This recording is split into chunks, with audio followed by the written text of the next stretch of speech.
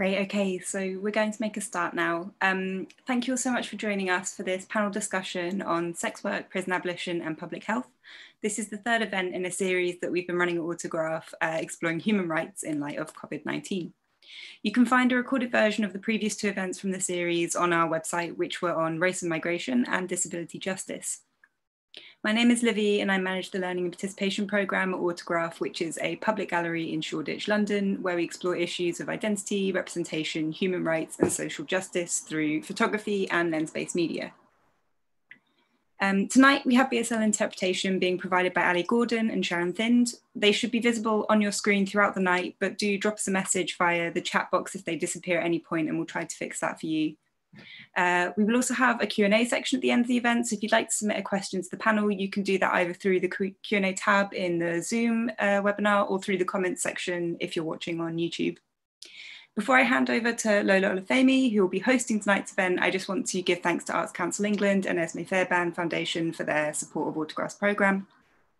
So by way of introduction to Lola, uh, Lola Olufemi is a Black feminist writer, organiser and Stuart Hall Foundation scholar from London.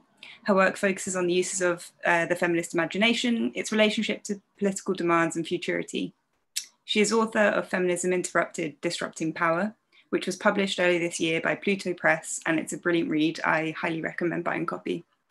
Uh, Lola is also a member of Bare Minimum, which is an interdisciplinary anti-work arts collective. Uh, so Lola, over to you.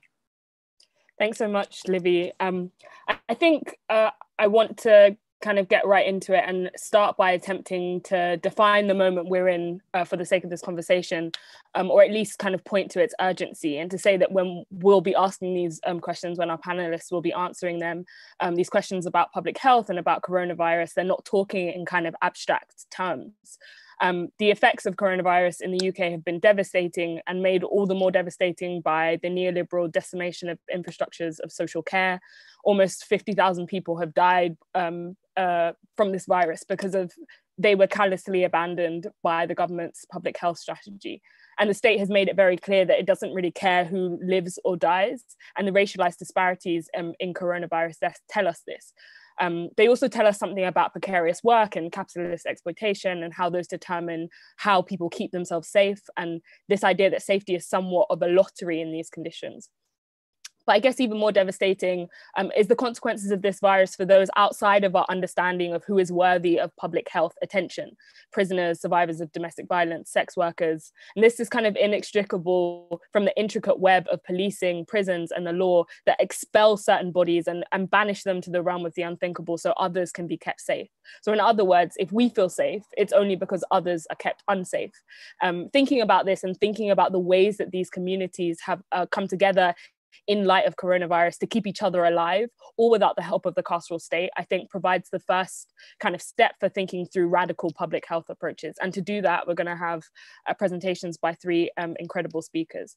So first, we'll have Elio Beale, who's a grassroots organizer with Swarm and Bent Bars, um, and a project coordinator for Decriminalized Futures, which is a collaborative project using creative tools and popular education to explore sex workers' lives, experiences, and movement struggles. Elsewhere, they organize work and research about abolition, health, popular education, creative interventions for movement building, and queer and trans liberation. Then uh, we'll have Kelsey, who's an organizer and educator with CAPE and Cradle Community, uh, which are grassroots abolitionist groups. CAPE is part of a network of local campaigns resisting prison expansion in the UK, and Cradle is a collective focused on transformative justice and community accountability, supporting our communities to build the skills we need to support each other. And then we'll have Dr. Aviah Sarah Day, who's a lecturer in criminology at Birkbeck, University of London, as well as an activist in the East End chapter of Sisters Uncut. Sisters Uncut is a national direct action collective fighting cuts to domestic violence services as well as state violence. So we'll have presentations from them, then we'll have a bit of a Q&A and then we'll have questions from the audience um, uh, at the end. So we'll start with Elio. Hi, thank you for that really lovely introduction. Um, I am going to talk a little bit about some of the work I do. Um, hopefully I will stick to the 10 minutes. Um, so my name is Elio. Can you hear me? Yes. Okay, cool. Um, I organise with Swarm and Bent Bars, and I'm also a member of the London Renters Union and of UVW, which is the United Voices of the World, the Workers Union.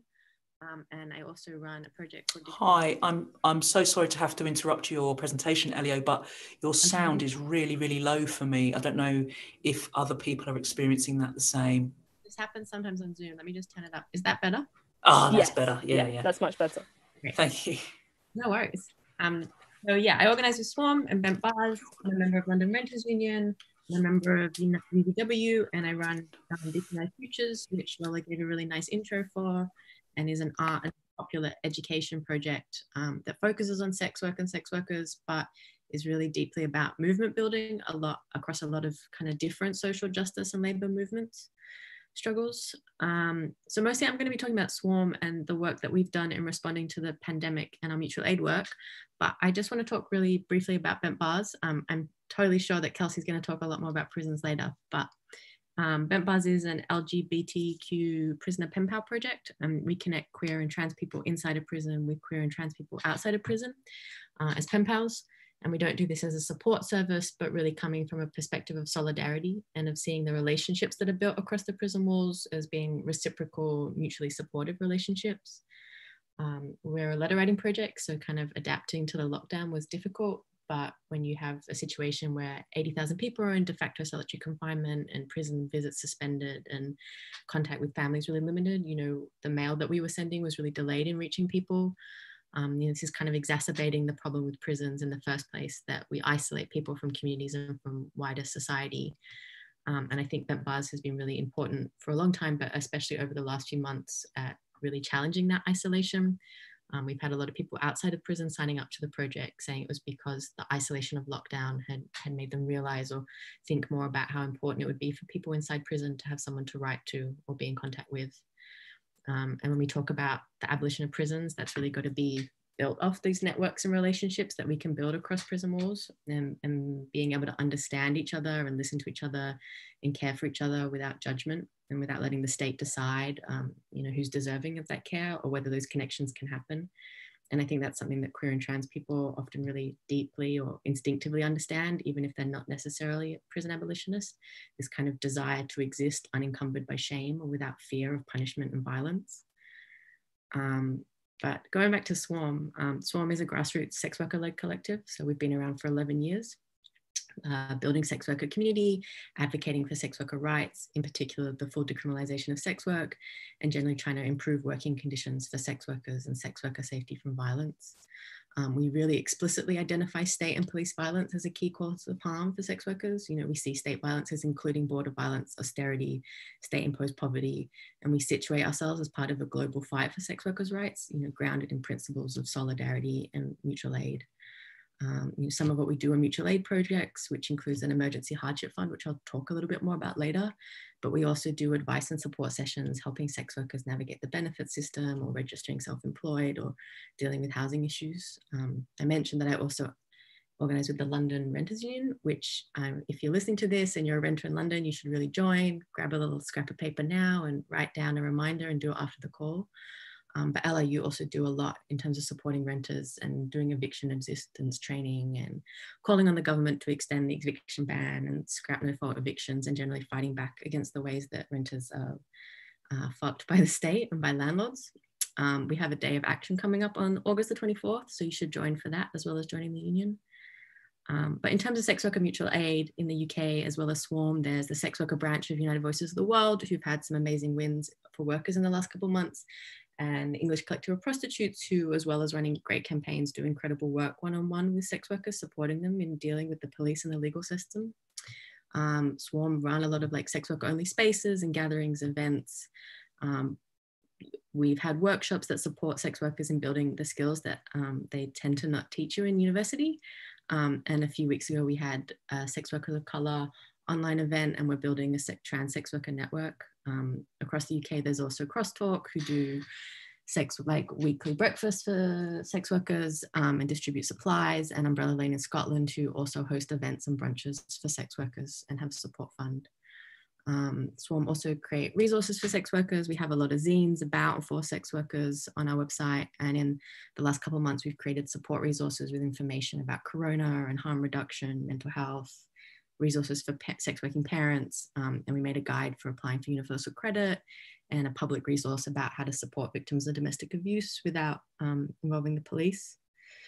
Uh, I guess in terms of more public events, we've been kind of busy, so we haven't done that so much. Um, but Decriminalised Futures has a lot more events. Um, the project involves 13 different artists working on 10 projects, um, making creative work that responds to the themes and conversations of the Swarm 10 year anniversary that we held in May 2019. So there's an exhibition of this work that was scheduled for September, but that's been postponed until next year. Um, but the work that's being made is really incredible, and I'm really excited for people to be able to see it. Um, and all the recordings that the artists are responding to from the Swarm conference are up on our website, decriminalisedfutures.org. So you can go and listen to them. Um, and we have a monthly reading group for each recorded discussion. So this month we'll be focusing on the Nordic model or the end demand model relating to prostitution. Um, again, you can sign up for the reading group on our website. And we're working with Abolitionist Futures and with Verso Books um, to do a series of events around abolition and mutual aid through September. Um, that'll be on Wednesdays, and I think they're going to be really excellent. Um, I think just because I referred to it briefly and I don't want to go into too much detail, but I will talk a little bit about legal models if that's all right to do. Yeah. Um, really, I would strongly recommend you go and find the Juno Mac TED talk called The Laws That Sex Workers Really Want because she gives an incredible overview and is an excellent speaker. Um, but I'm just going to give a little intro that says that when I say we fight for decriminalization, I mean the full decriminalization of sex work. Um, there are some people, including prominent women MPs and groups that say they're fighting exploitation, who really strongly advocate for the Swedish model, also known as the Nordic model, or in the United States, they call it the equality model.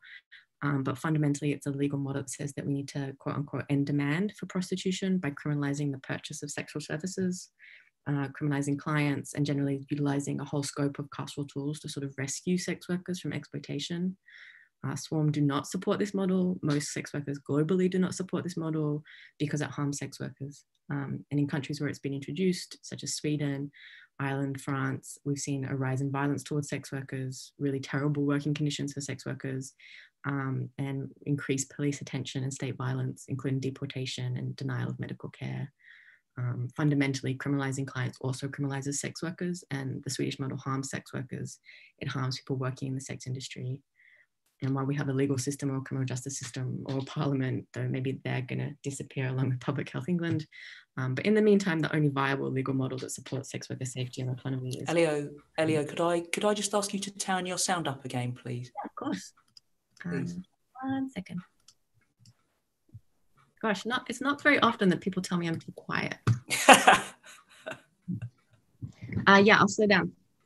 Um, okay. So what else was I going to say? I guess just before I run out of time, I should talk about the Swarm Hardship Fund. So we, during the pandemic, we ran an emergency hardship fund. Um, we've actually written a report about the fund that was just released this afternoon. So you can find it on our website, or if you look at our various social media, it's up. Um, but it just kind of explains what we did and how we did it, which is basically a group of initially five and then 10 of us ran a fund for sex workers impacted by COVID 19. And we gave out just slightly over a quarter of a million pounds in grants to 1,255 in-person sex workers across the UK. Um, and I'm going to say that again because it's something I'm like deeply proud of that we raised and then gave away like such an extraordinary amount of money and put it directly into the hands of sex workers.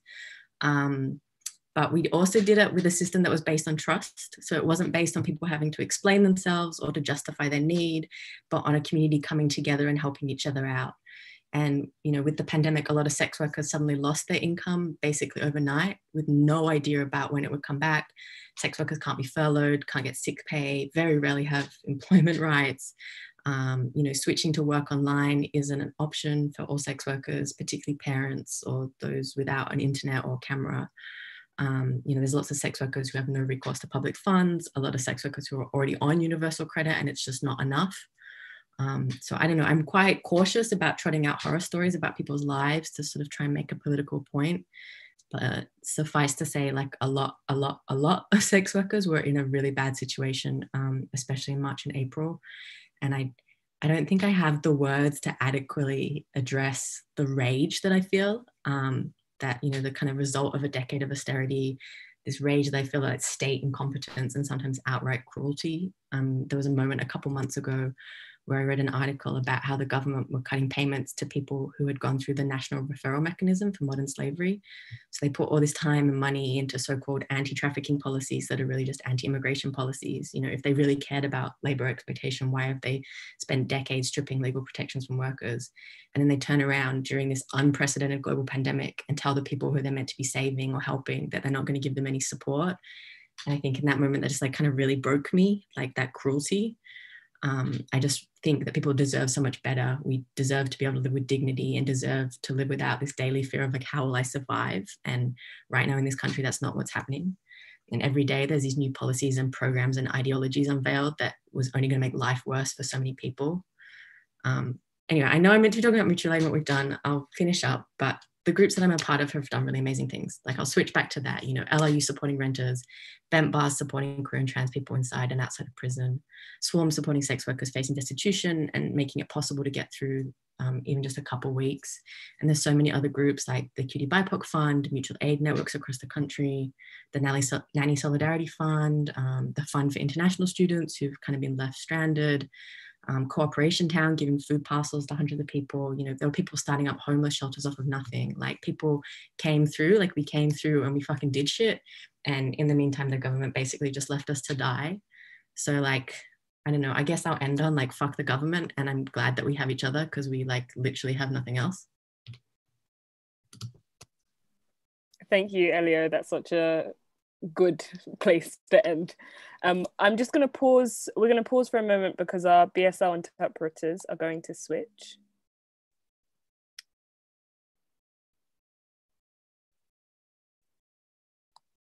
And then we'll hear from Kelsey just in a moment.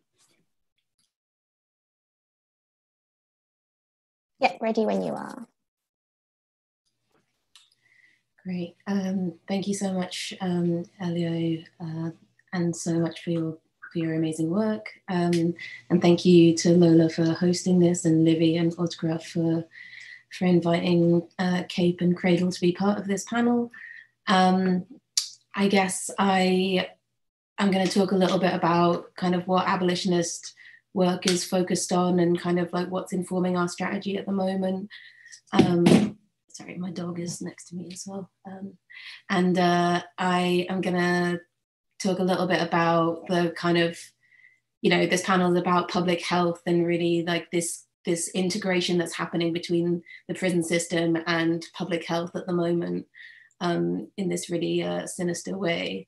But first, I want to talk a little bit about like, because in the UK, um, you know, I think it's important to to understand the web that is the the PIC, the prison industrial complex, or maybe the punishment industrial complex. Um, uh, to really understand that not only does the UK have the largest prison population in Europe, um, a quarter of which is Black and Brown people, um, as well as um, a huge amount of people in, in, immigration detention and mental health detention, um, but also there are these there are these uh, these connections that are forming and and being built and strengthened in in this way that makes it seem like prisons are um, that prison system is somehow concerned with the public health and public safety rather than than punishment. So these kinds of things that we're seeing of developing new types of prisons for 12 to 17 year olds so young people children um, that's a a partnership between the Ministry of Justice and the Department for Education um, to act like there's some way that we can make that an educational space um, when you've already had it to the point where a child has been excluded from school and excluded from society in that way. Um, that somehow that can be a, an educational space. We have um, private companies, Serco, Sodexo, and G4S running prisons, but also operating within our hospitals, our universities, our schools. Um, you know, it's it's Serco that's going to be taking over Public Health England essentially. Um, but they also provide the, the catering and, and a lot of the services within the prison system. That's both our public prisons and our, um, our private ones. Um, we have probation services providing the services for addiction support, um, things like that, where criminalization is connected, is your route to these kinds of support. Um, and we have things like the domestic violence and abuse bill, which I think is a real example of the way that violence against women is used to drive incarceration, is used as a um, a political concern that is able to increase incarceration, increase punishment, um, because that bill is mostly focused on um, longer sentences for perpetrators and not for uh, emergency housing or long-term for so support for survivors. And that, and that is really, really evident that those interests are really entwined because Liz Truss, who is now a, uh, our, um, our head of our minister for equalities, for women's women's inequalities, um, whatever that, that uh, title is, I think it's women's inequalities. Um, she used to be the head of the Ministry of Justice. She used to be the head of the CPS. So those those things are very much um, connected. And and uh, you know we can't stop just looking at the UK. We have to also understand that the imperial arm of Britain is still very much keeping a hold of its colonies through funding the arms trade internationally and controlling trade, aid, and debt to the point where they even tried to build a prison in Nigeria recently. That's not going ahead, but these kinds of things show the way that punishment is very much live um, as well as if we look at things like the war on drugs. Um, uh, so um, I really want to talk about the fact that we just, we need to uh, work to challenge a state that prioritizes and, and uh, you know, that, uh, sorry, yeah, that prioritizes punishment over care. Um, and we have to understand that those mechanisms of punishment, um, where punishment functions as a way of keeping you where you're supposed to be within the capitalist structure, um, that that punishment works through prisons and policing, yes, but it also works through education, through housing scarcity, through immigration control, through poverty, through healthcare, social care systems, the mental health system, and your violent support services. That while we have um, mandatory reporting and while we have safeguarding rules that integrate the, the police system um, into lots of our frontline services, that punishment is, is the flip side to any support that we may receive. Um, so CAPE's um, work against prison expansion is really coming up against this, like I said, this integration of, of prisons and, and public health. And something else that made this really evident in this last six months is the way that the government decided to take a criminalization approach to public health to this public to this public health crisis you know? The the idea that you could police covid um, rather than provide the the care and the housing and the the um, support that we needed um, is is bizarre right? But really betrays their agenda. So um, you know the fact even just moving from stay home to stay alert suddenly we're all we're all on the lookout for covid and to, to police each other right? Um, but we know that uh, the laws around lockdown meant that um, black and brown people were um, stopped and searched 17 times more likely, uh, more often under COVID laws than, than white people. We know that they were 54% more likely to be fined. We know that fines are only something that's uh, going to impact poor people, that rich people can deal with a fine and they'll, they'll be okay. But we also know that the areas that were being policed were not the parks that mostly rich white people go to. We know that it was just an excuse to uh, criminalize more, particularly young black people, um, but also to criminalize people people who are not safe in their homes and people who have to work um, outside of the law. Um, and uh, and at the same time domestic violence rates were going up. So the idea that police keep us safe even in the best of times let alone that they were going to keep us safe during this pandemic was just a false narrative that really carried through a way to make it seem like the government was really doing something about this virus when actually um, they're not, you know, and they're just pursuing the same agenda that they were the whole time. Um, I think something else that it really brought up for me as well was was the uh, it, this was a moment where we really needed to come through for each other, that we needed to build these networks of care, of mutual aid to support each other. But there was a huge, not everyone, but there was a huge population of, of Britain who were very keen to call the police on their neighbours for um, breaking lockdown ru- rules, and to the point where the police didn't even want all those calls, you know?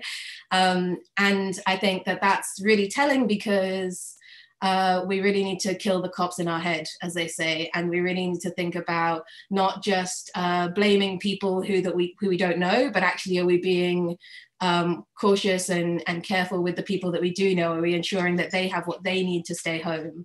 Um, all of these things, are we actually having those conversations with the people close to us? Or are we just looking outside at young people that we already don't like um, and calling the cops on them? So these kinds of things were really highlighted to me like during, during the pandemic.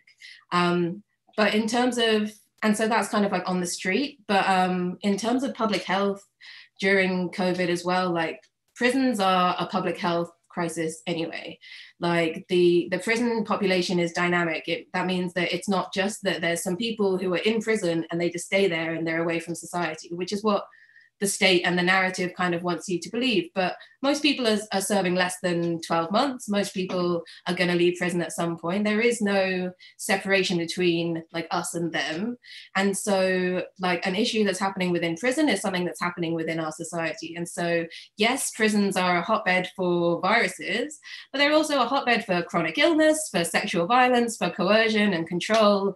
Um, they are um, places where all of these issues are able to persist. And by not containing the virus uh, within the prisons that also was going to have impacts for people outside. But by not uh, understanding the way that we could have supported people in that moment um, and just relying on further punishment. Basically, I guess not everyone knows the the government's response to COVID when it came to prisons was to completely lock them down, was to cut off any visitation. Um, as Elio said, they made it much harder for posts to get in and out um, you know, really, really increasing the amount of isolation that people experienced inside, um, while the staff are still going in and out, of course, and not required to necessarily wear PPE, not provided with PPE, no, and no social distancing enforced inside. So, um, we know that uh, actually reducing visitation and all these kinds of things were not the thing that was going to reduce the spread of the virus inside. And we know that actually what it was doing was making people more vulnerable to the virus, more vulnerable to uh, long term uh, health and um, mental health impacts. Um, because of that lockdown. And we will be seeing those consequences for a long time, whether the government wants to admit it or not. Um, just because people are, are in prison doesn't mean that they are actually out of sight, out of mind. The ways that you can, even under their own um, rules, you know, people had their sentences ex- extended because of the virus, because of lockdown, the ways that that can have impacts on people's mental health, on their communities outside, on how long it might take you to get back on your feet when you leave, all of these things. Um, increased by the fact that suddenly you're being kept inside and and by the way like that was regardless of whether you're a non-violent or violent offender right? Like that the the virus doesn't care and the government actually doesn't care. Once you are criminalized and once you're in that system they can change the rules like that. And that's what we learned about this virus. And they can change the rules to increase oppression. What they didn't want to do there wasn't the political will unlike lots of other countries to to do mass releases which is what was the only thing that would have alleviated the, the risks inside. And there wasn't that political will. And even though we had many, many NGOs and even prison governors themselves saying, what we need to do in this pandemic is to let people out. And the housing was not provided and the mechanisms were not provided for people to be able to leave. Um, and instead they went for increase the increase the violence inside and people were locked in for 23 hours plus a day um, you know, regardless of, of what they're in for or how long they're supposed to be in there for.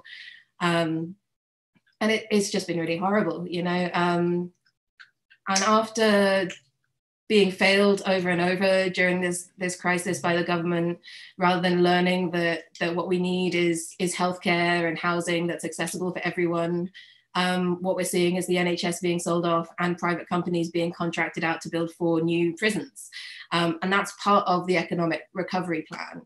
And if we're going to yeah, we should be highly, highly concerned um, and and deeply resistant to a system that moves to to increase control and imprisonment during a crisis instead of instead of increasing our capacity for collective care and community um, resources. And I think this just really showed that the agenda of public health and of public safety is to maintain and protect the upper classes and to maintain the status quo. It shows us again who is excluded when we speak about public health and public safety. Um, and yeah, it's just it for me. Like it's no wonder that a country with the highest prison population in Europe also has the highest death rate from COVID. You know, this is deeply about how our our state uh, considers our population and our um, and what care looks like and who they'll provide care for. Um, and so for me, abolition really allows us to, to start visioning beyond this incredibly violent system to, to start building these networks of mutual aid and collective care and transformative justice. Um, and it really is a mission that requires us to put energy and resources into those things, um, which this pandemic has just has just uh, exacerbated and accelerated that need, I think.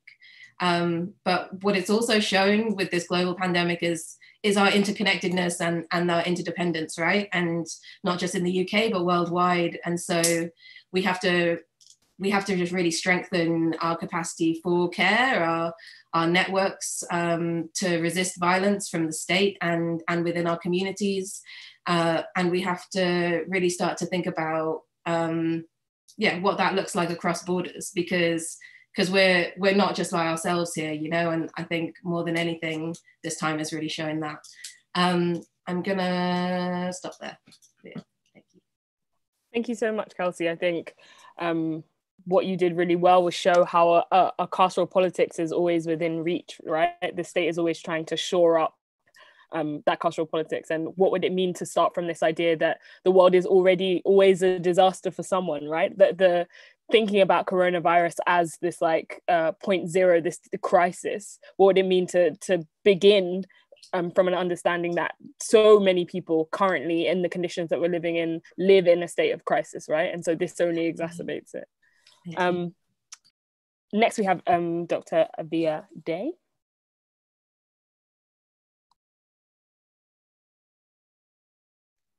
Hey, can you hear me? Great. Yes, we can. Cool.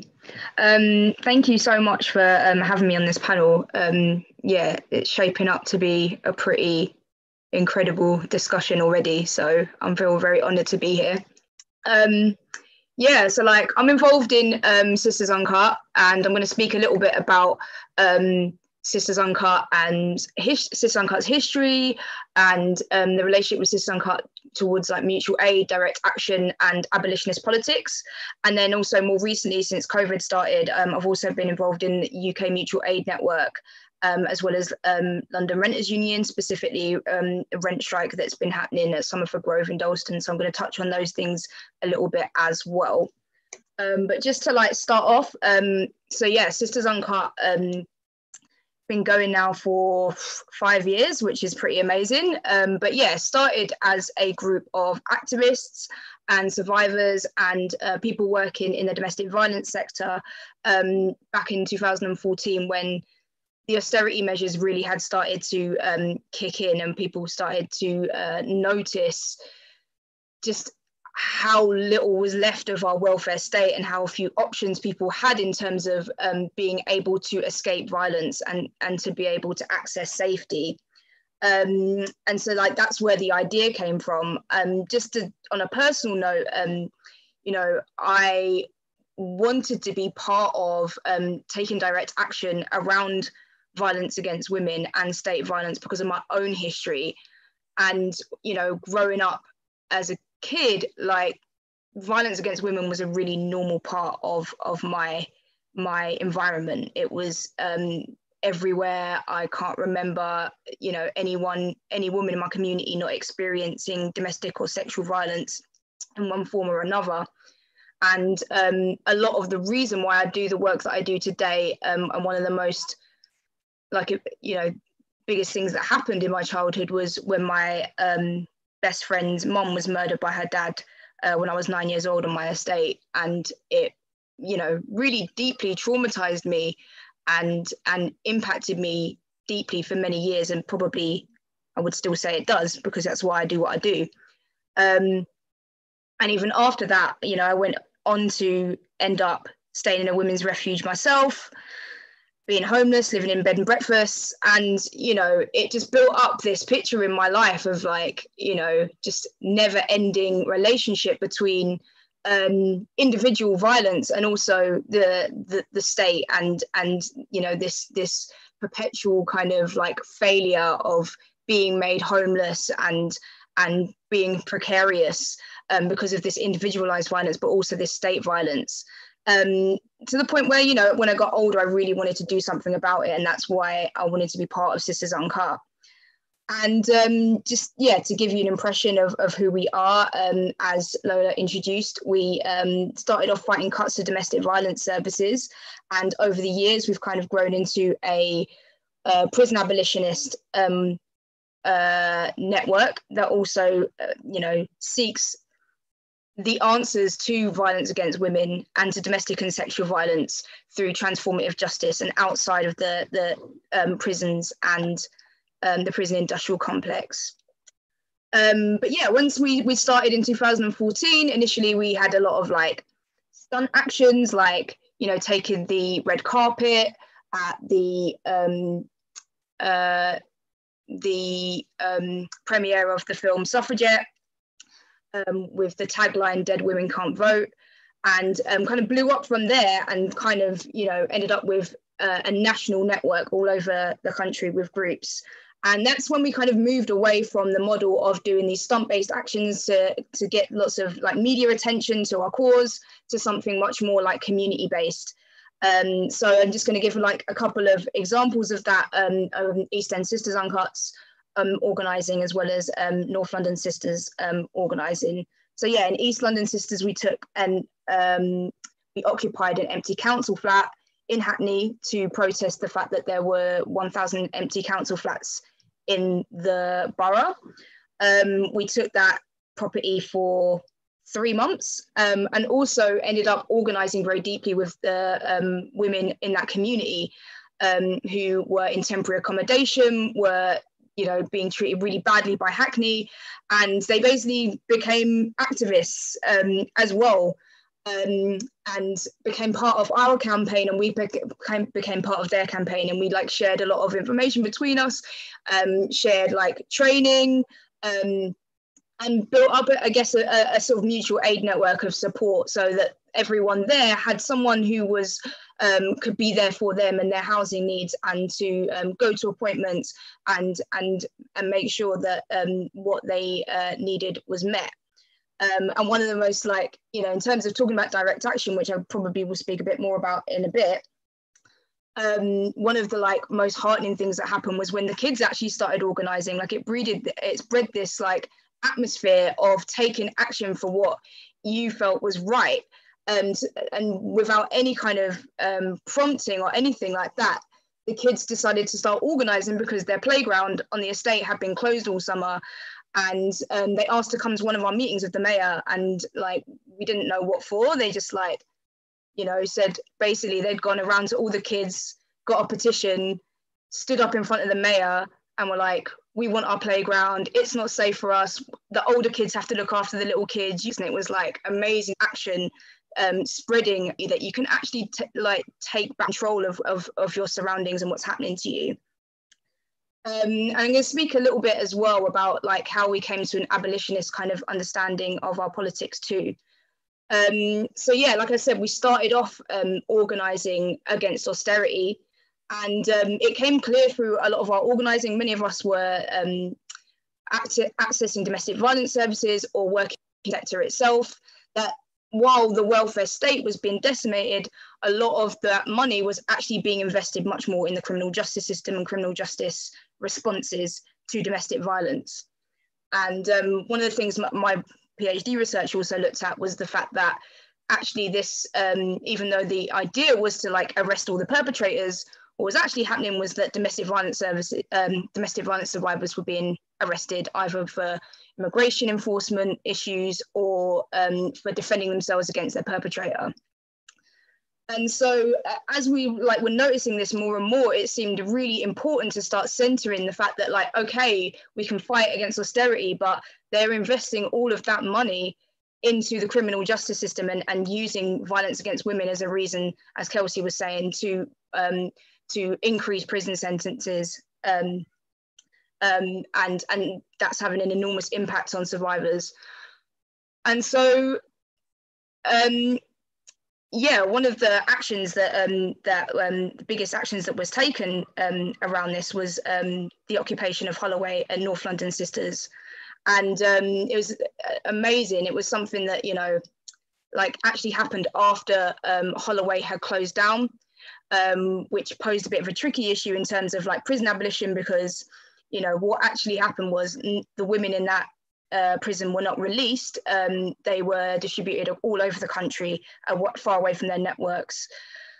But the prison did close down, and there was a local campaign um, with groups um, such as Reclaim Holloway um, to try and get that site be um, made into um, social housing and a women's building. And Sisters Uncut occupied with those with those uh, uh, demands in mind.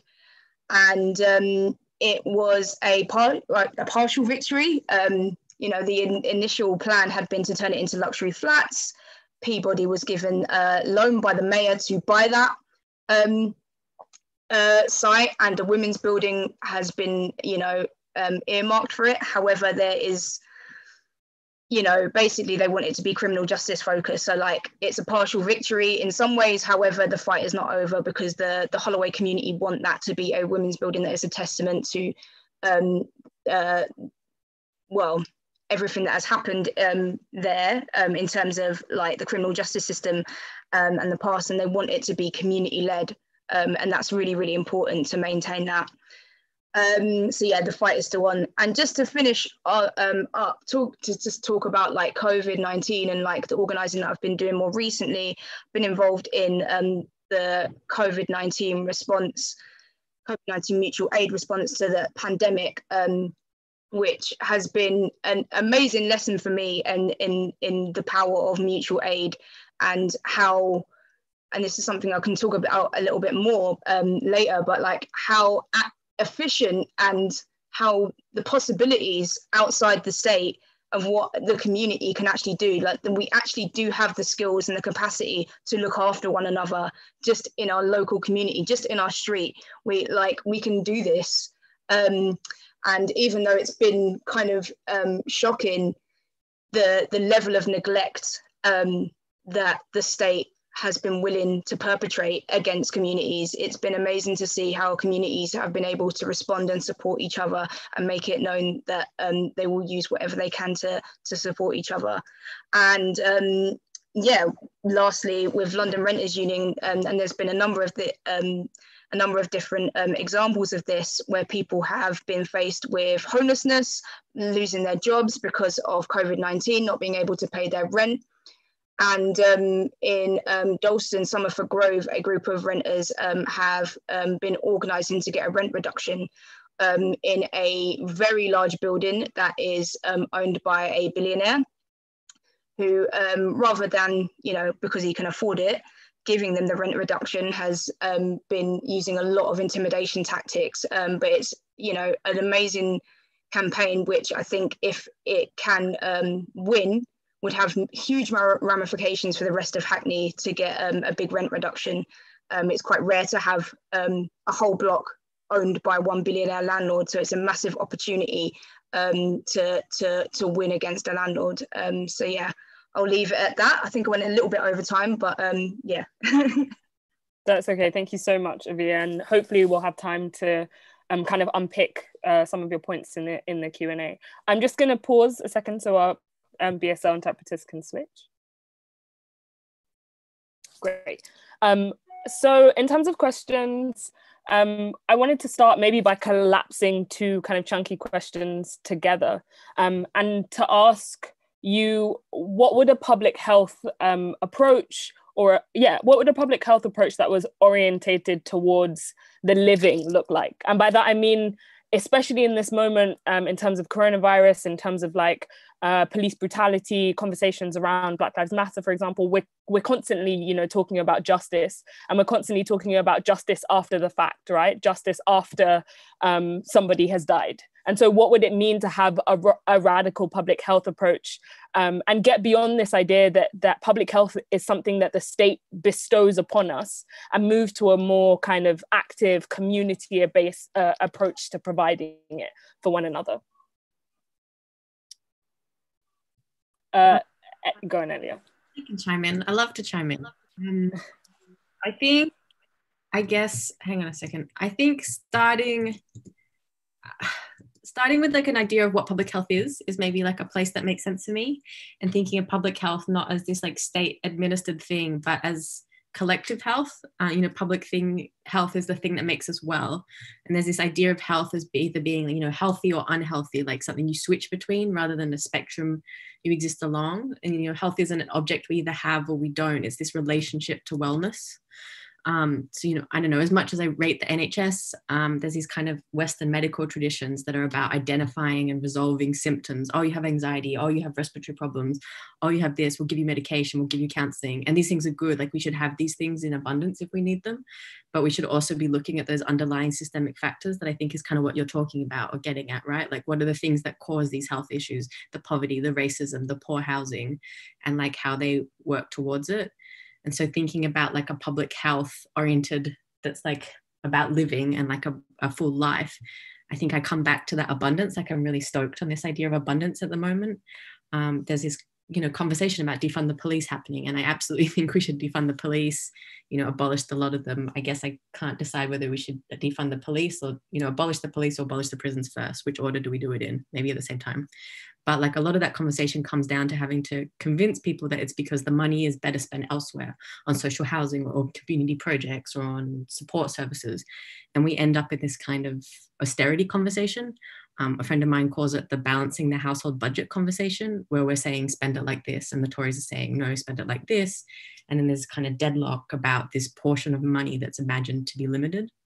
And I understand strategically that argument. Like, I think it's important and it cuts across to people and explains to people a way of thinking about policing and safety.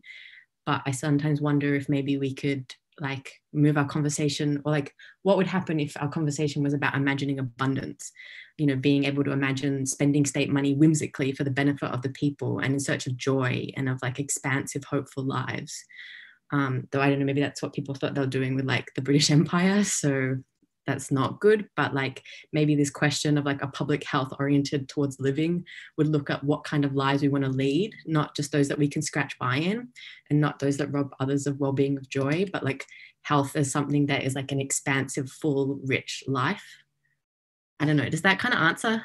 Yeah, no, that's an excellent answer. And I think it really gets at this point that um, Ruth Wilson Gilmore makes of like the doctrine of least eligibility, this idea that there's this like every dollar you have is a dollar that somebody else doesn't have, right? Like, and moving away from that thinking towards this idea of abundance really kind of guts the conversation in terms of there's only a finite amount of resources or amount of money we have. Does anyone else want to come in on that? Yeah, I was gonna. Um, yeah, I was thinking. I've been thinking a lot about like the history of um, like how uh, communities have dealt with health outside of the state, and you know, it's quite tricky as leftists to be too critical of the National Health Service because in many ways we feel quite lucky to have it, and um, we're constantly having to defend it. And the people that are critiquing it are usually coming at it from the position of the like of um, you know right wing kind of politics um, and they want to basically sell the nhs so like it's quite tricky sometimes to engage in critique around um, state-based health but one of the things like historically that I found really interesting is like long time before the NHS was around, how people, um, how workers were able to like meet each other's needs in terms of health. Um, in this country was around things like friendly societies, which was set up where uh, workers would pay like a premium and they would employ their own doctor for their community or their like their workers. And um, you know, this was actually something that you know, like once the state started to really get involved, they um, insisted had to be stamped out. And one of the reasons, like the British Medical Association, started a massive campaign against these friendly societies because they uh, despised the fact that there was this accountability where if you know these people were paying for this doctor and they employed them and therefore they told their doctor what they wanted rather than the doctor telling them what to do and they felt that the doctor needed to tell people what to do and so that needed to be stamped out and another example, um, which I've been reading about recently, the Peckham Health Centre, which was around from the 20s to the 50s, and it didn't actually last very long after the NHS came in. Um, again, based on this idea um, that Elliot was talking about, like a holistic understanding of health that isn't just about the absence of disease in your body, mm-hmm. but it's mm. also about your environment. Mm-hmm. Okay. Mm-hmm.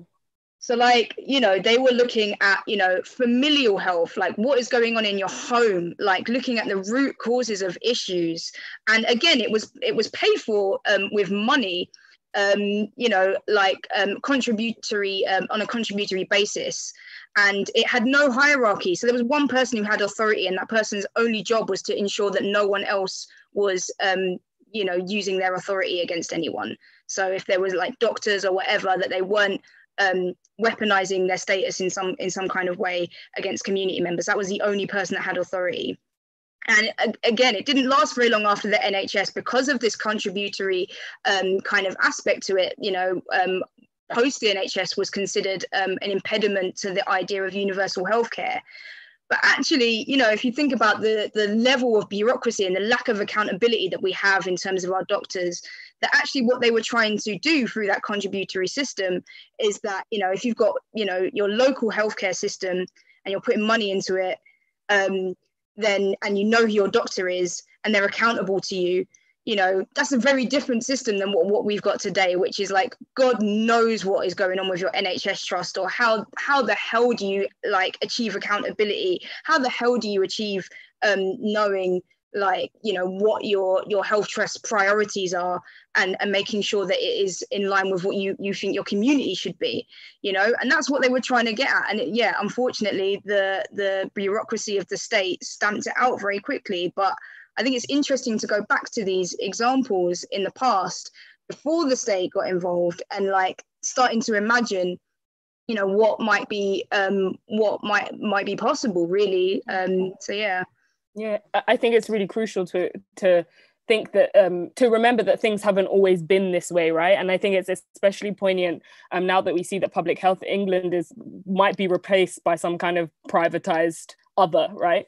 Um, I want to do two questions at once just so that we have um, time.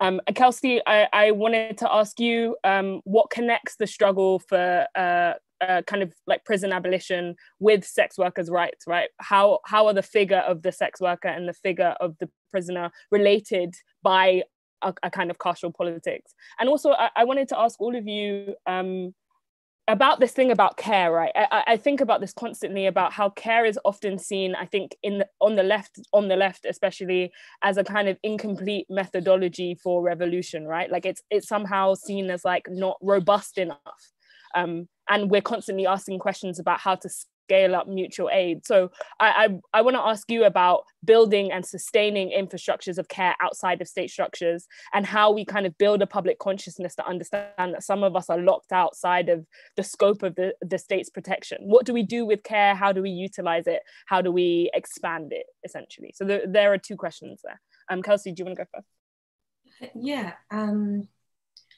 I think it's uh, it's a really great question. And I think that uh, the reality of criminalization is is that what it does, no matter the kind of like seriousness of the crime, there's a level of removing your humanity, your dignity, your agency.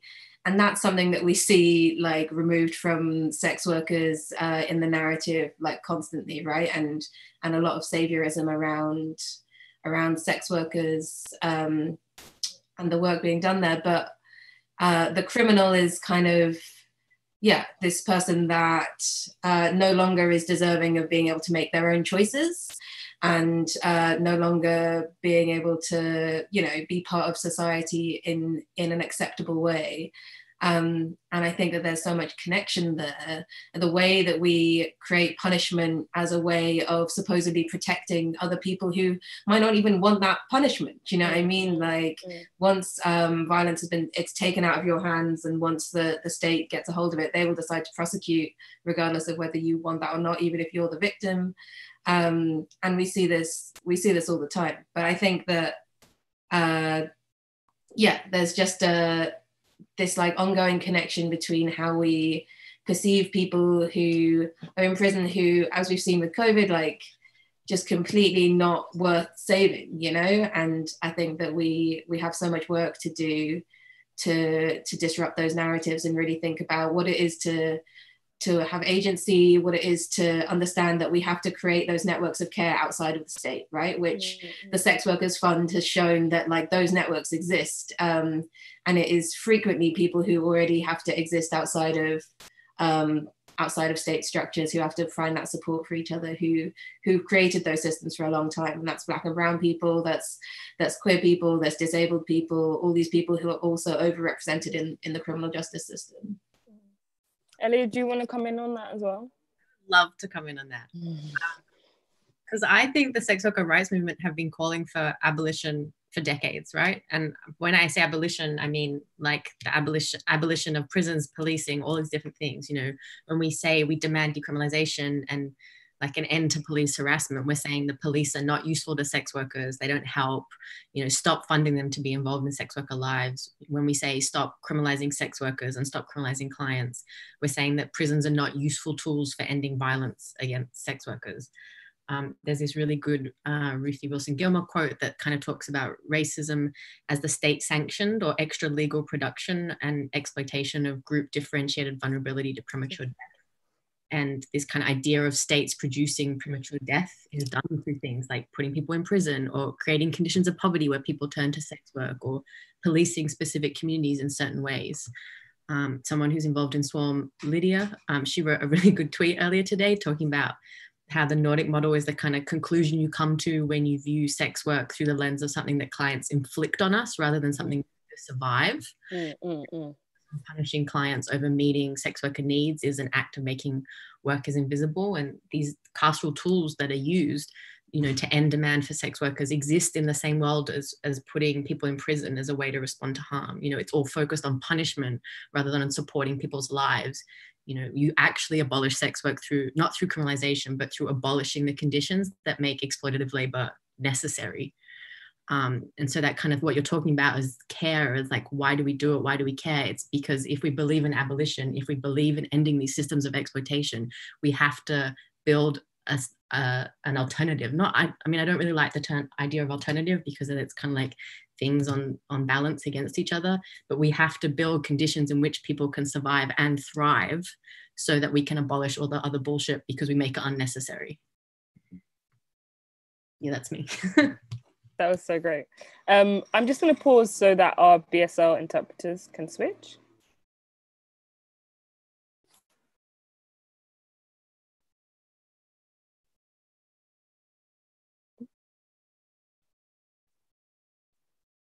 We good? Great. Um, uh, Aviah, do you want to come in on that point about um, care and mutual aid and scaling up um, those kind of projects? Yeah, it's definitely something I've been thinking about a lot over the last few months. Like, um, as I was saying earlier, having a little window into the capacity that we have um, within communities, like, you know, it, it, has got me really thinking and reflecting. You know, I've always been a big believer in mutual aid, but I just, I guess I didn't know it would be like, you know, we could operationalize it so quickly mm-hmm. and so efficiently. I just think, you know, it's been amazing to see it. Um, but also, you know, it's important to sort of recognize, um, as people have, have, have, discussed already, you know, that a lot of the issues that have um, been massively exacerbated by this pandemic existed before. Um, you know, poverty and isolation and, um, you know, um, ill health and if, you know people not being able to access what they need because of their immigration uh, all of these things existed before but the pandemic has brought it into very very harsh and sharp focus mm, mm. Um, so you know whether the pandemic is here or not doesn't mean you know those those issues are not going away so it is incredibly important now we've like established that we can um, work together and then we can um, support each other through our community networks that we build something more sustainable um, and and and build up healthy um, communities. So you know, in my mind, I feel like you know it's important to have um, in the future, um, to have bases to work from, to have social centres where the work around people's benefits, around um, confronting landlords, around you know like renters union stuff, benefits union stuff, like all of those stuff where where communities can actually use mutual aid in terms of supporting one another with issues that they have faced and then help someone else with that when with the with the skills that they've learned.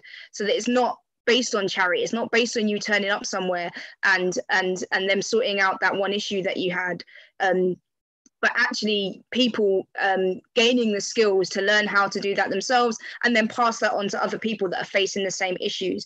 And that's building you know that's kind of you know you might consider like dual power. So like it's not only addressing those issues but you're building up the capacity and the health of that community so that you know eventually when the time comes you know you can seize power um you know so i think yeah i think it will be important to to look over the next year or two to be um, doing a lot of this work from bases and building up much more um, uh, power within communities around around that work. I think, yeah, I think a long term strategy strategy is really necessary. I wanted to also um, ask all of you in terms of the organizing work that you do about your orientation in terms of working against and beyond the state simultaneously and what that means for you and how it's inflected um, depending on what your demands are, if that makes any sense. Um, I think it's it's I think you know organizers often say that we're working you know um, against and beyond simultaneously, but often we don't really kind of unpick what that means and how it like can cause conflict because obviously in the short term in the urgency of the situation we we do need to many people need to rely on um, on provisions or resources that the state offers. And so it's in our interest to procure those for them. But it's also within our interests to kind of like create an argument for or to build a bigger vision that that takes us entirely away from and beyond um, what the state can offer us. So how how do you sit with those with that idea in the work that you do. Um elio do you want to go first? Uh sure. Um i i think it can be complicated for the sex worker rights movement in that you know we're making these demands of the state in terms of decriminalization but that demand is for like the removal of the state from sex worker lives. Um, so it's kind of like towards the state but it's also like to a, it's kind of like a, a, request to abolish the state, or at least that's my perspective on it. I'm sure many other people have different views. Um, but I think I don't know. I was thinking about this because we were, you know, the panels about kind of rights and human rights, and or is that's the context of it. And I was thinking about this question in relation to that. Um, and there was a panel at the Swarm conference last year, um, and this person called Mijke van der Drift was talking about radical transfeminism and sort of the difference between liberty and liberation, which I think kind of relates to this you know, and she sort of talked about how liberty means civil rights and that like rights is kind of a, a, curbing of the managerial class, but on their own terms. So it's talking to the managerial class in the language of the management, you know, talking to the manager in the voice of the management, talking to the management in the voice of the manager. Um, but that rights will never set us free. So working with the state, you know, it's never going to set us free. I think abolishing the state is what will set us free, but that's, you know, my specific political perspective. I'm not speaking on behalf of any of the groups I'm a part of when I say that. You know, we need rights because they're useful. I was talking to someone earlier today about how the UK kind of human rights framework limits how many people the government can deport and in what circumstances they can do that. But at the same time, they aren't liberation. They aren't the fundamental change to the society that we need. They're this neoliberal construct that can also be used in violent ways, like and used to, you know, expand the carceral state, like hate crime legislation that increases police funding and stuff like that. So, I mean, I wish I had an answer to this because then I think if I had an answer, then we would like kind of be sorted. Like we could all just leave the call and go home. Not that I'm saying my answer would be the thing that we did. Um, but like, I think it is really complicated, but I do think that like in the political landscape that we're in, we just have to be against the state. Um, the Tories aren't going to give us what we need. They're not, it's just not going to happen. We're going to spend the next five years with everything just getting like worse and worse and worse. Like Keir Starmer is not um, a solution to any problems. And looking towards the state and to electoral politics and to political parties is not going to be what happens. It will be through these mutual aid projects that we do and I think it's fucked that we can't rely on a welfare state, that we have to do it for ourselves. You know, it's becoming more and more like the United States, where like there's this hyper capitalism, this hyper self reliance.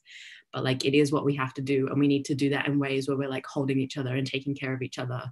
Because like to me, it's not even about can we work with the state, it's that the state has abandoned us. And so now we need to act together.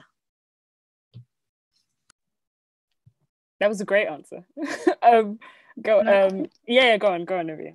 Um, yeah, I, this is like a big question for me, like within and against the state. It's something that like is a really good question and a really hard one to like answer and figure out a lot of the time. And I think like as revolutionaries, you know, it's it's very difficult, you know, to you know, very few of us can actually live a life, you know, with outside of the institutions of capitalism we have to work with them to some extent. And it's figuring out a way as revolutionaries to do that in a way that isn't just about reformism. Um, but, you know, at the end of the day, we do have to figure out a way to operate in these institutions on a day to day basis. Um, and yeah, I think that like, for me, I think one of the things that is really important to center and remember is that, like, when we're talking about um, abolition, for me, that means revolution. It doesn't just mean um, abolishing one institution, it means a revolution against capitalism. And when we're talking about the prison industrial complex, you know, for me, what I'm talking about is one facet of capitalism that needs to be dismantled um, along with all the other institutions that prop up capitalism. And I think, you know, it's important when we're working with institutions to keep that sight in mind and not lose and not lose sight of that.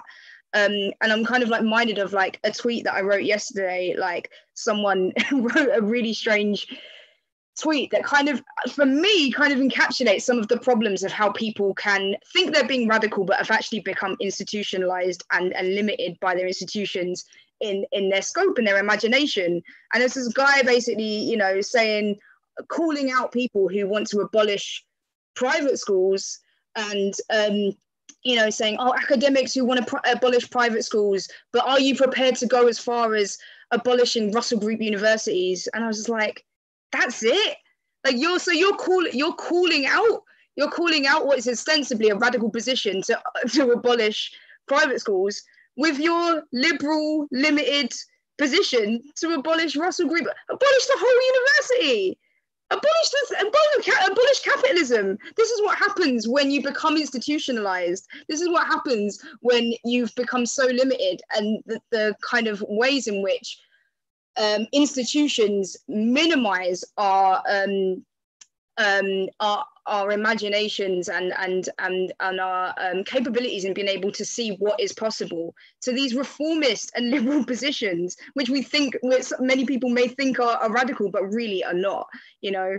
Um, so yeah, I think it's really crucial to keep in mind that when we're talking about abolition, we're talking about revolution. I feel like that is really crucial. And I feel like sometimes that is a little bit missing from a lot of the conversation here is that we're not just going to talk about, um, you know, overthrowing the prison industrial complex. We're talking about overthrowing all of the institutions that um, prop up capitalism, including schools, including um, universities, and starting again in terms of an education system, a health system, and um, justice within our communities that centers our needs. Yeah. I think in many ways we're talking about like the end of the world as we know it, which is why you know abolition is not a popular idea in, in some senses. Um, Kelsey, do you want to come in? Uh, yeah, thank you. Like I, I want to echo all of that. I guess like in terms of the question of like specifically with campaigns and how and how we deal with these this conflict that that we feel like yeah i think it's it's always like knowing what the overall aim is um, and understanding as they say that we don't want to have to um, dismantle something later we're not going to like fight for stuff that we're going to have to undo at a later time. Um, so understanding how we use lots of these mechanisms and these campaigns to remove resources and build capacity for us to be doing these things ourselves and how we can campaign for structures that will allow us to meet like both immediate needs and also like build towards that future vision. And it, it is really difficult with prisons right? Because prisons are a very specific thing and people are literally locked inside and we cannot actually just get in and free people or we cannot like there is a level of like the state has so much control over a certain population um, that sometimes it does feel like begging, you know, and it does feel like you're really struggling with these institutions um, that can feel unsurmountable at times. But um, you know, it's about building the narrative, building that uh, capacity for us to um, to yeah to change the narrative around the purpose that prisons are serving um, and to make them obsolete you know as angela davis would say to really make it so that fewer people are going to prison because we are starting to resist um, policing but also because we are building our capacity for supporting each other and not actually having to engage with those systems um, and i think like yeah as long as we are continuing to do that um, yeah, there are these compromises or these these moments that can be really difficult. I'm just thinking about with COVID, where it just really felt like there's this bottleneck at the top. Like we can get everyone on board, and there'll just be someone who's advising Boris who's like, don't let them out. And and that is really really shit you know and really frustrating because um, you can have all the evidence and all the things and there is a concentration of power that gets to make certain decisions. But like it's about getting creative and figuring out the ways that we can challenge those things and challenge the narratives. And you know we've seen in the us like yes you can do something huge when you have like a money bail system that is already fucked in all its own ways. But it means that when you get enough money as they have uh, uh, in the wake of the uprisings that you you know some cities where you can literally bail out an entire jail then you're starting to really challenge a system and then you're going to start to really see some things. But here we have to do it slowly. We have to figure out what these things are. And we are starting to see through mutual aid groups um, and through building these systems of care we're seeing ways to play the system. If we get good lawyers on our on our side um, that we can get people out on compassionate release. If we show one of the like biggest things around like getting people um, released during their appeals um, and their tribunals is is about the care that they have in the community. And so keeping people incarcerated relies on the fact that they're not going to be able to access services, they're not going to be able to access all these things. But if our communities can come and say, hey, we've got you, then we can we can start to challenge that. And so that's been the only thing during COVID that started to get people out is this compassionate release stuff and like doing that through mutual aid and things. So by getting creative, by learning how to play that system and keeping your eye on the ball of like it's about getting people out and it's about not letting them get back in, then it's yeah, we can I think we can do it, but it's it's it's a constant battle and they are constantly coming up with new ways to to make it seem like maybe they're on your side or maybe things are going in the right direction. Um, and we have to be really really vigilant of those two because linguistically and all these things where they co-opt our language they start to build prisons that are called community units um, all these kinds of things like we have to be really really uh, wary. Thank you so much. Um, i want to just as we round up want to go to some q&a um, uh, uh, sorry, get to some Q and A questions. Um, I think first our BSL interpreters want to swap. Um, and the first question, uh, um, it's kind of more of a comment, I guess. Elio, you could speak to this. Um, Hannah says, I'm wondering if the increased public attention on abolitionist politics as, as a result of the BLM protests in recent months is changing the public conversation about sex work. I've been seeing Nordic model advocates call for defunding the police, and I can't tell if they've changed their minds or if they're just confused. I think it's a mixture of the two. I think some people have changed their minds and some people are just confused. Um, or maybe confused is like a really generous way to describe it. Mm-hmm. Um, I don't think that it's necessarily increased attention at abolitionist politics that have changed it. Um, I think it's like a combination of things. I think it's like decades of sex worker movement. I think it's the last couple of years where decriminalization of sex work has become like more palatable and more people are seeing like what a failure the Nordic model will be. You know, you look to Ireland and they when they introduced the Nordic model in Northern Ireland, they did a study and then they checked in two years later to see what the consequences had been. And there was a 90% increase in violence towards sex workers. You know, we have evidence that shows that the Nordic model doesn't work. And I think that's starting to people. Um, and I actually also think that what's happened in the last few months did like Swarm responded to the crisis. We raised fuckloads of money and supported mm. We provided direct support in a load of different ways. And organizations and charities and outreach projects that are funded that have millions of pounds a year some less but some that much like literally did nothing. Like there was crickets. I think one organization tried to post about how they'd handed out 30 different support packages to sex workers and it was like cool that's you know great. And like it is great. I'm glad they did that but it's just sort of like really illuminated how these groups fail and how they're just these like punishing ideological projects that do nothing to support sex workers. And I think that just becomes clearer every minute that passes. I think there's um, another question I think you could answer. Um, someone says, It's great being reminded of the work of Bent Bars. Are there networks to support Black uh, and POC youth in prisons and networks for Black prisoners in uh, England and Wales? I guess also Kelsey, you could speak to that as well. Um, the first group that comes to mind are 4Front, who are an amazing um, youth project fighting policing um, and should be supported in every way possible. That's absolutely true. For them um, to do their really amazing work. That would be the first kind of group that come to mind. I don't know, Kelsey, if you have thoughts about others. Um, like there's not that many sort of like specific uh, yeah there's not that many in the uk specifically because capacity has been so low around this issue. But there's um, the prisoner solidarity network and uh, through cape like it's sort of more informal networks of supporting people um, and campaigns that kind of come through to lots of the abolitionists but it's not like a specific like network for black folks at the moment. But if people want to set that up i'm happy to support that. Um, yeah. Can i ask i was going to say there's also um uh JENGbA, who organize around um joint enterprise yeah. Joint enterprise which isn't black only but they do and it's like young black men who are impacted though yeah. Yeah exactly. So um yeah i think look up look them up because they're a really amazing group who um support a lot of young people who are currently incarcerated. Yeah totally.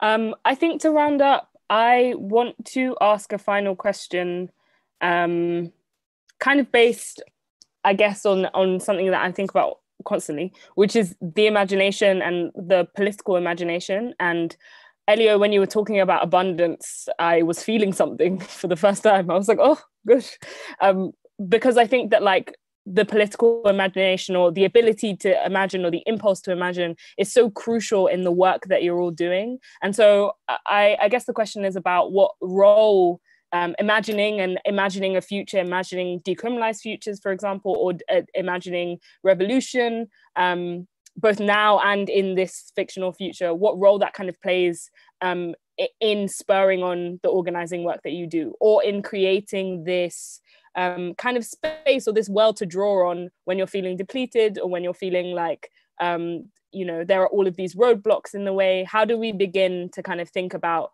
the um, the imagination, political imagination, or the future um, now and you know uh, in time to come, essentially.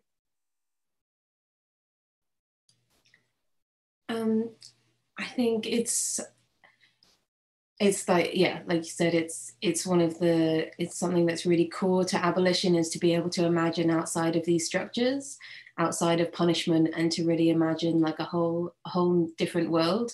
For me it's actually also been really really digging into not just imagination as if we're like inventing something new but it's also remembering like you know one of the ways that i've connected with some of my elders around abolition has been when they've said wait what did we do before the police then?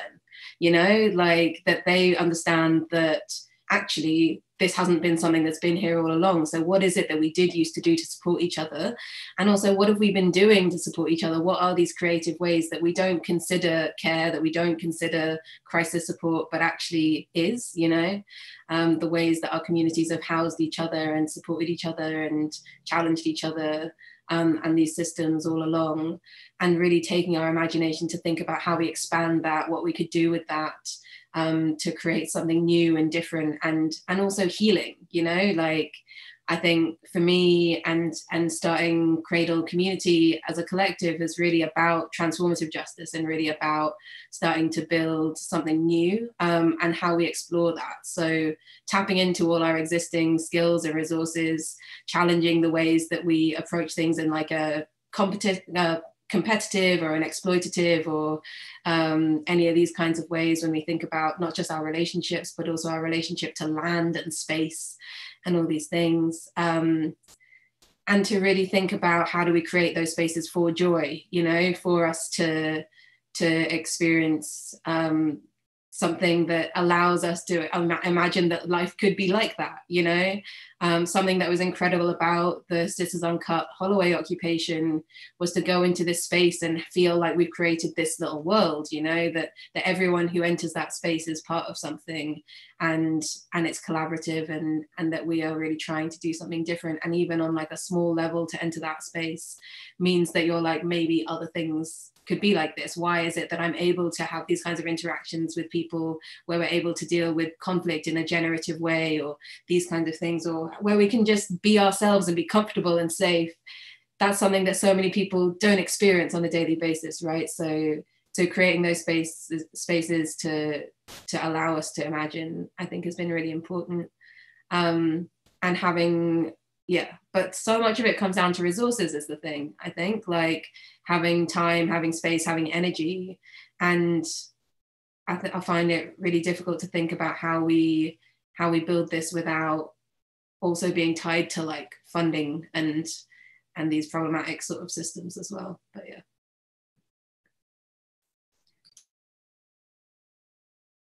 Aviah, do you want to come in?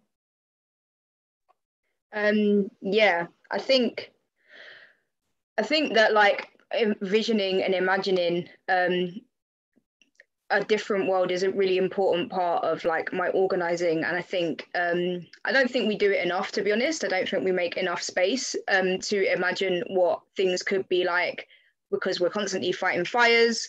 Mm. but it gives a lot of life when you're able to think, sit and think like what could we mean to each other if we weren't living in this you know god awful grinding capitalist society like what could our communities look like when they were really looking after each other? And just like you know just little different things come to mind in terms of you know um you know when the prisons have been dismantled you know i think it's important to think about that that period of society like when capitalism has been dismantled how we're going to rebuild society how are we're going to rebuild our communities after that after the trauma that we've all fucking experienced all this time? You know it's going to be a huge a huge task. And like you know i've learned a lot from um W.E.B. Du Bois or bois. I never really know how to say it. Boys. Boys. Um like in terms of reconstruction and his ideas around reconstruction post slavery i feel like we can learn a lot about those ideas um, you know, and it's not just about um, the prisons, but it's also what we've been talking about today around education, around um, transformative justice. So when there is violence in a, in a family home, um, because of trauma and because of overcrowding, it's not just about you know getting that person who's committed that violence to apologize, but it's about addressing that problem. You know, making sure that people have appropriate and safe um, housing um, that's appropriately spaced and that their trauma is addressed. And you know i you know envisage a society where education is available to all and we're not siphoning people off into prisons or universities into good and bad but actually having genuine open access so that anyone who wants to learn regardless has access to that who has access we have all these resources but we've we've built up walls to to stop people from accessing them. And the same way around health like you know the stuff i was talking about earlier that that that, that information is there in our history you know that we've um you know we have this amazing radical past of being able to address our healthcare needs amongst ourselves by sharing by by by um you know um putting money in to, to, to make sure that we've got our local healthcare needs um, supported. And the same with um, in terms of social reproduction, you know, how many how many women around the world are shit like by themselves raising kids, looking after elderly re- relatives or the um, the adults in their lives alone. Why do we do that? Why do we have to do that? You know, it that alone causes so many problems. We could so easily transform it, this society, so that that um, that is shared between all of us. So, like, you know, when I'm envisaging a world afterwards, I feel like, you know, we're going to have to rebuild so many, um, so many of these different parts of you know, healthcare, social reproduction, um, education, all of these different areas to rebuild our communities so that they're healthy and strong. Thank you so much. Um, Elio, do you want to round us off? Yeah, I would love to round us off. Um, I think the two there's two things I want to say, and the first one is sort of answering one of the questions that was in the Q and A, um, and also speaking to the a question of an imagined future is that like working on the Swarm Hardship Fund in some ways like the collective work that we did was that that imagined future right like started with five of us and expanded to 10 and we shared the work amongst us and it was really hard you know sometimes it was really difficult you're talking to people and hearing really difficult stuff some people would you know speaking to people on the phone and they do 10 conversations in a row and you're really holding a lot of emotional weight um, and we tried to take care of each other through that. And when we saw people getting burnt out or taking on too much, we'd kind of do these like gentle interventions with each other to share the work around in different ways. Um, you know, we worked to our strengths and people took on work that like spoke to what their interests were or their skills were, but not in a way that was kind of laborious necessarily, but like what people felt called towards. And I think that kind of careful, caretaking, like work that is about like recognizing what people are best at and supporting them to do it and helping them to do it is really that kind of future I want to imagine where we're able to like live lives that look like that. And it doesn't mean that we won't sometimes do difficult things or sometimes experience discomfort or sometimes experience hardship, but that we will like support and care for each other um, in doing it. And then the thing that I would love to end on is there's this collective from San Francisco called Gay Shame, and they kind of fight or they do actions kind of fighting gentrification in San Francisco.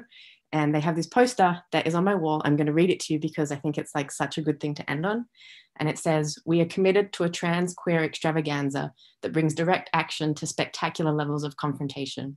We work collectively outside boring and deceptive nonprofit models to fight white supremacy, capitalism, ableism, cops, settler colonialism, and all forms of domination. Liberals think we are frivolous de- decorations and mainstream gays want us gone. Against them and with each other, we instigate, irritate, and agitate to build cultures of devastating resistance. Thank you. That was such a that's such a beautiful note to end on. And I want to say thank you so much, um, Kelsey, Elio, Aviah. This has been such a, a generative and enriching conversation for me. Um, I want to say thank you to the audience as well. And I'm just going to pass back over to Livy, who's going to close us out. Yeah, uh, just to reiterate, Lola, a huge thank you to everyone for joining us and participating in the conversation tonight, um, especially to our panelists. Um, as activists and organisers, I know there's, it's just a really busy time for you all, so thank you so much for taking the time to share your work and your thoughts with us.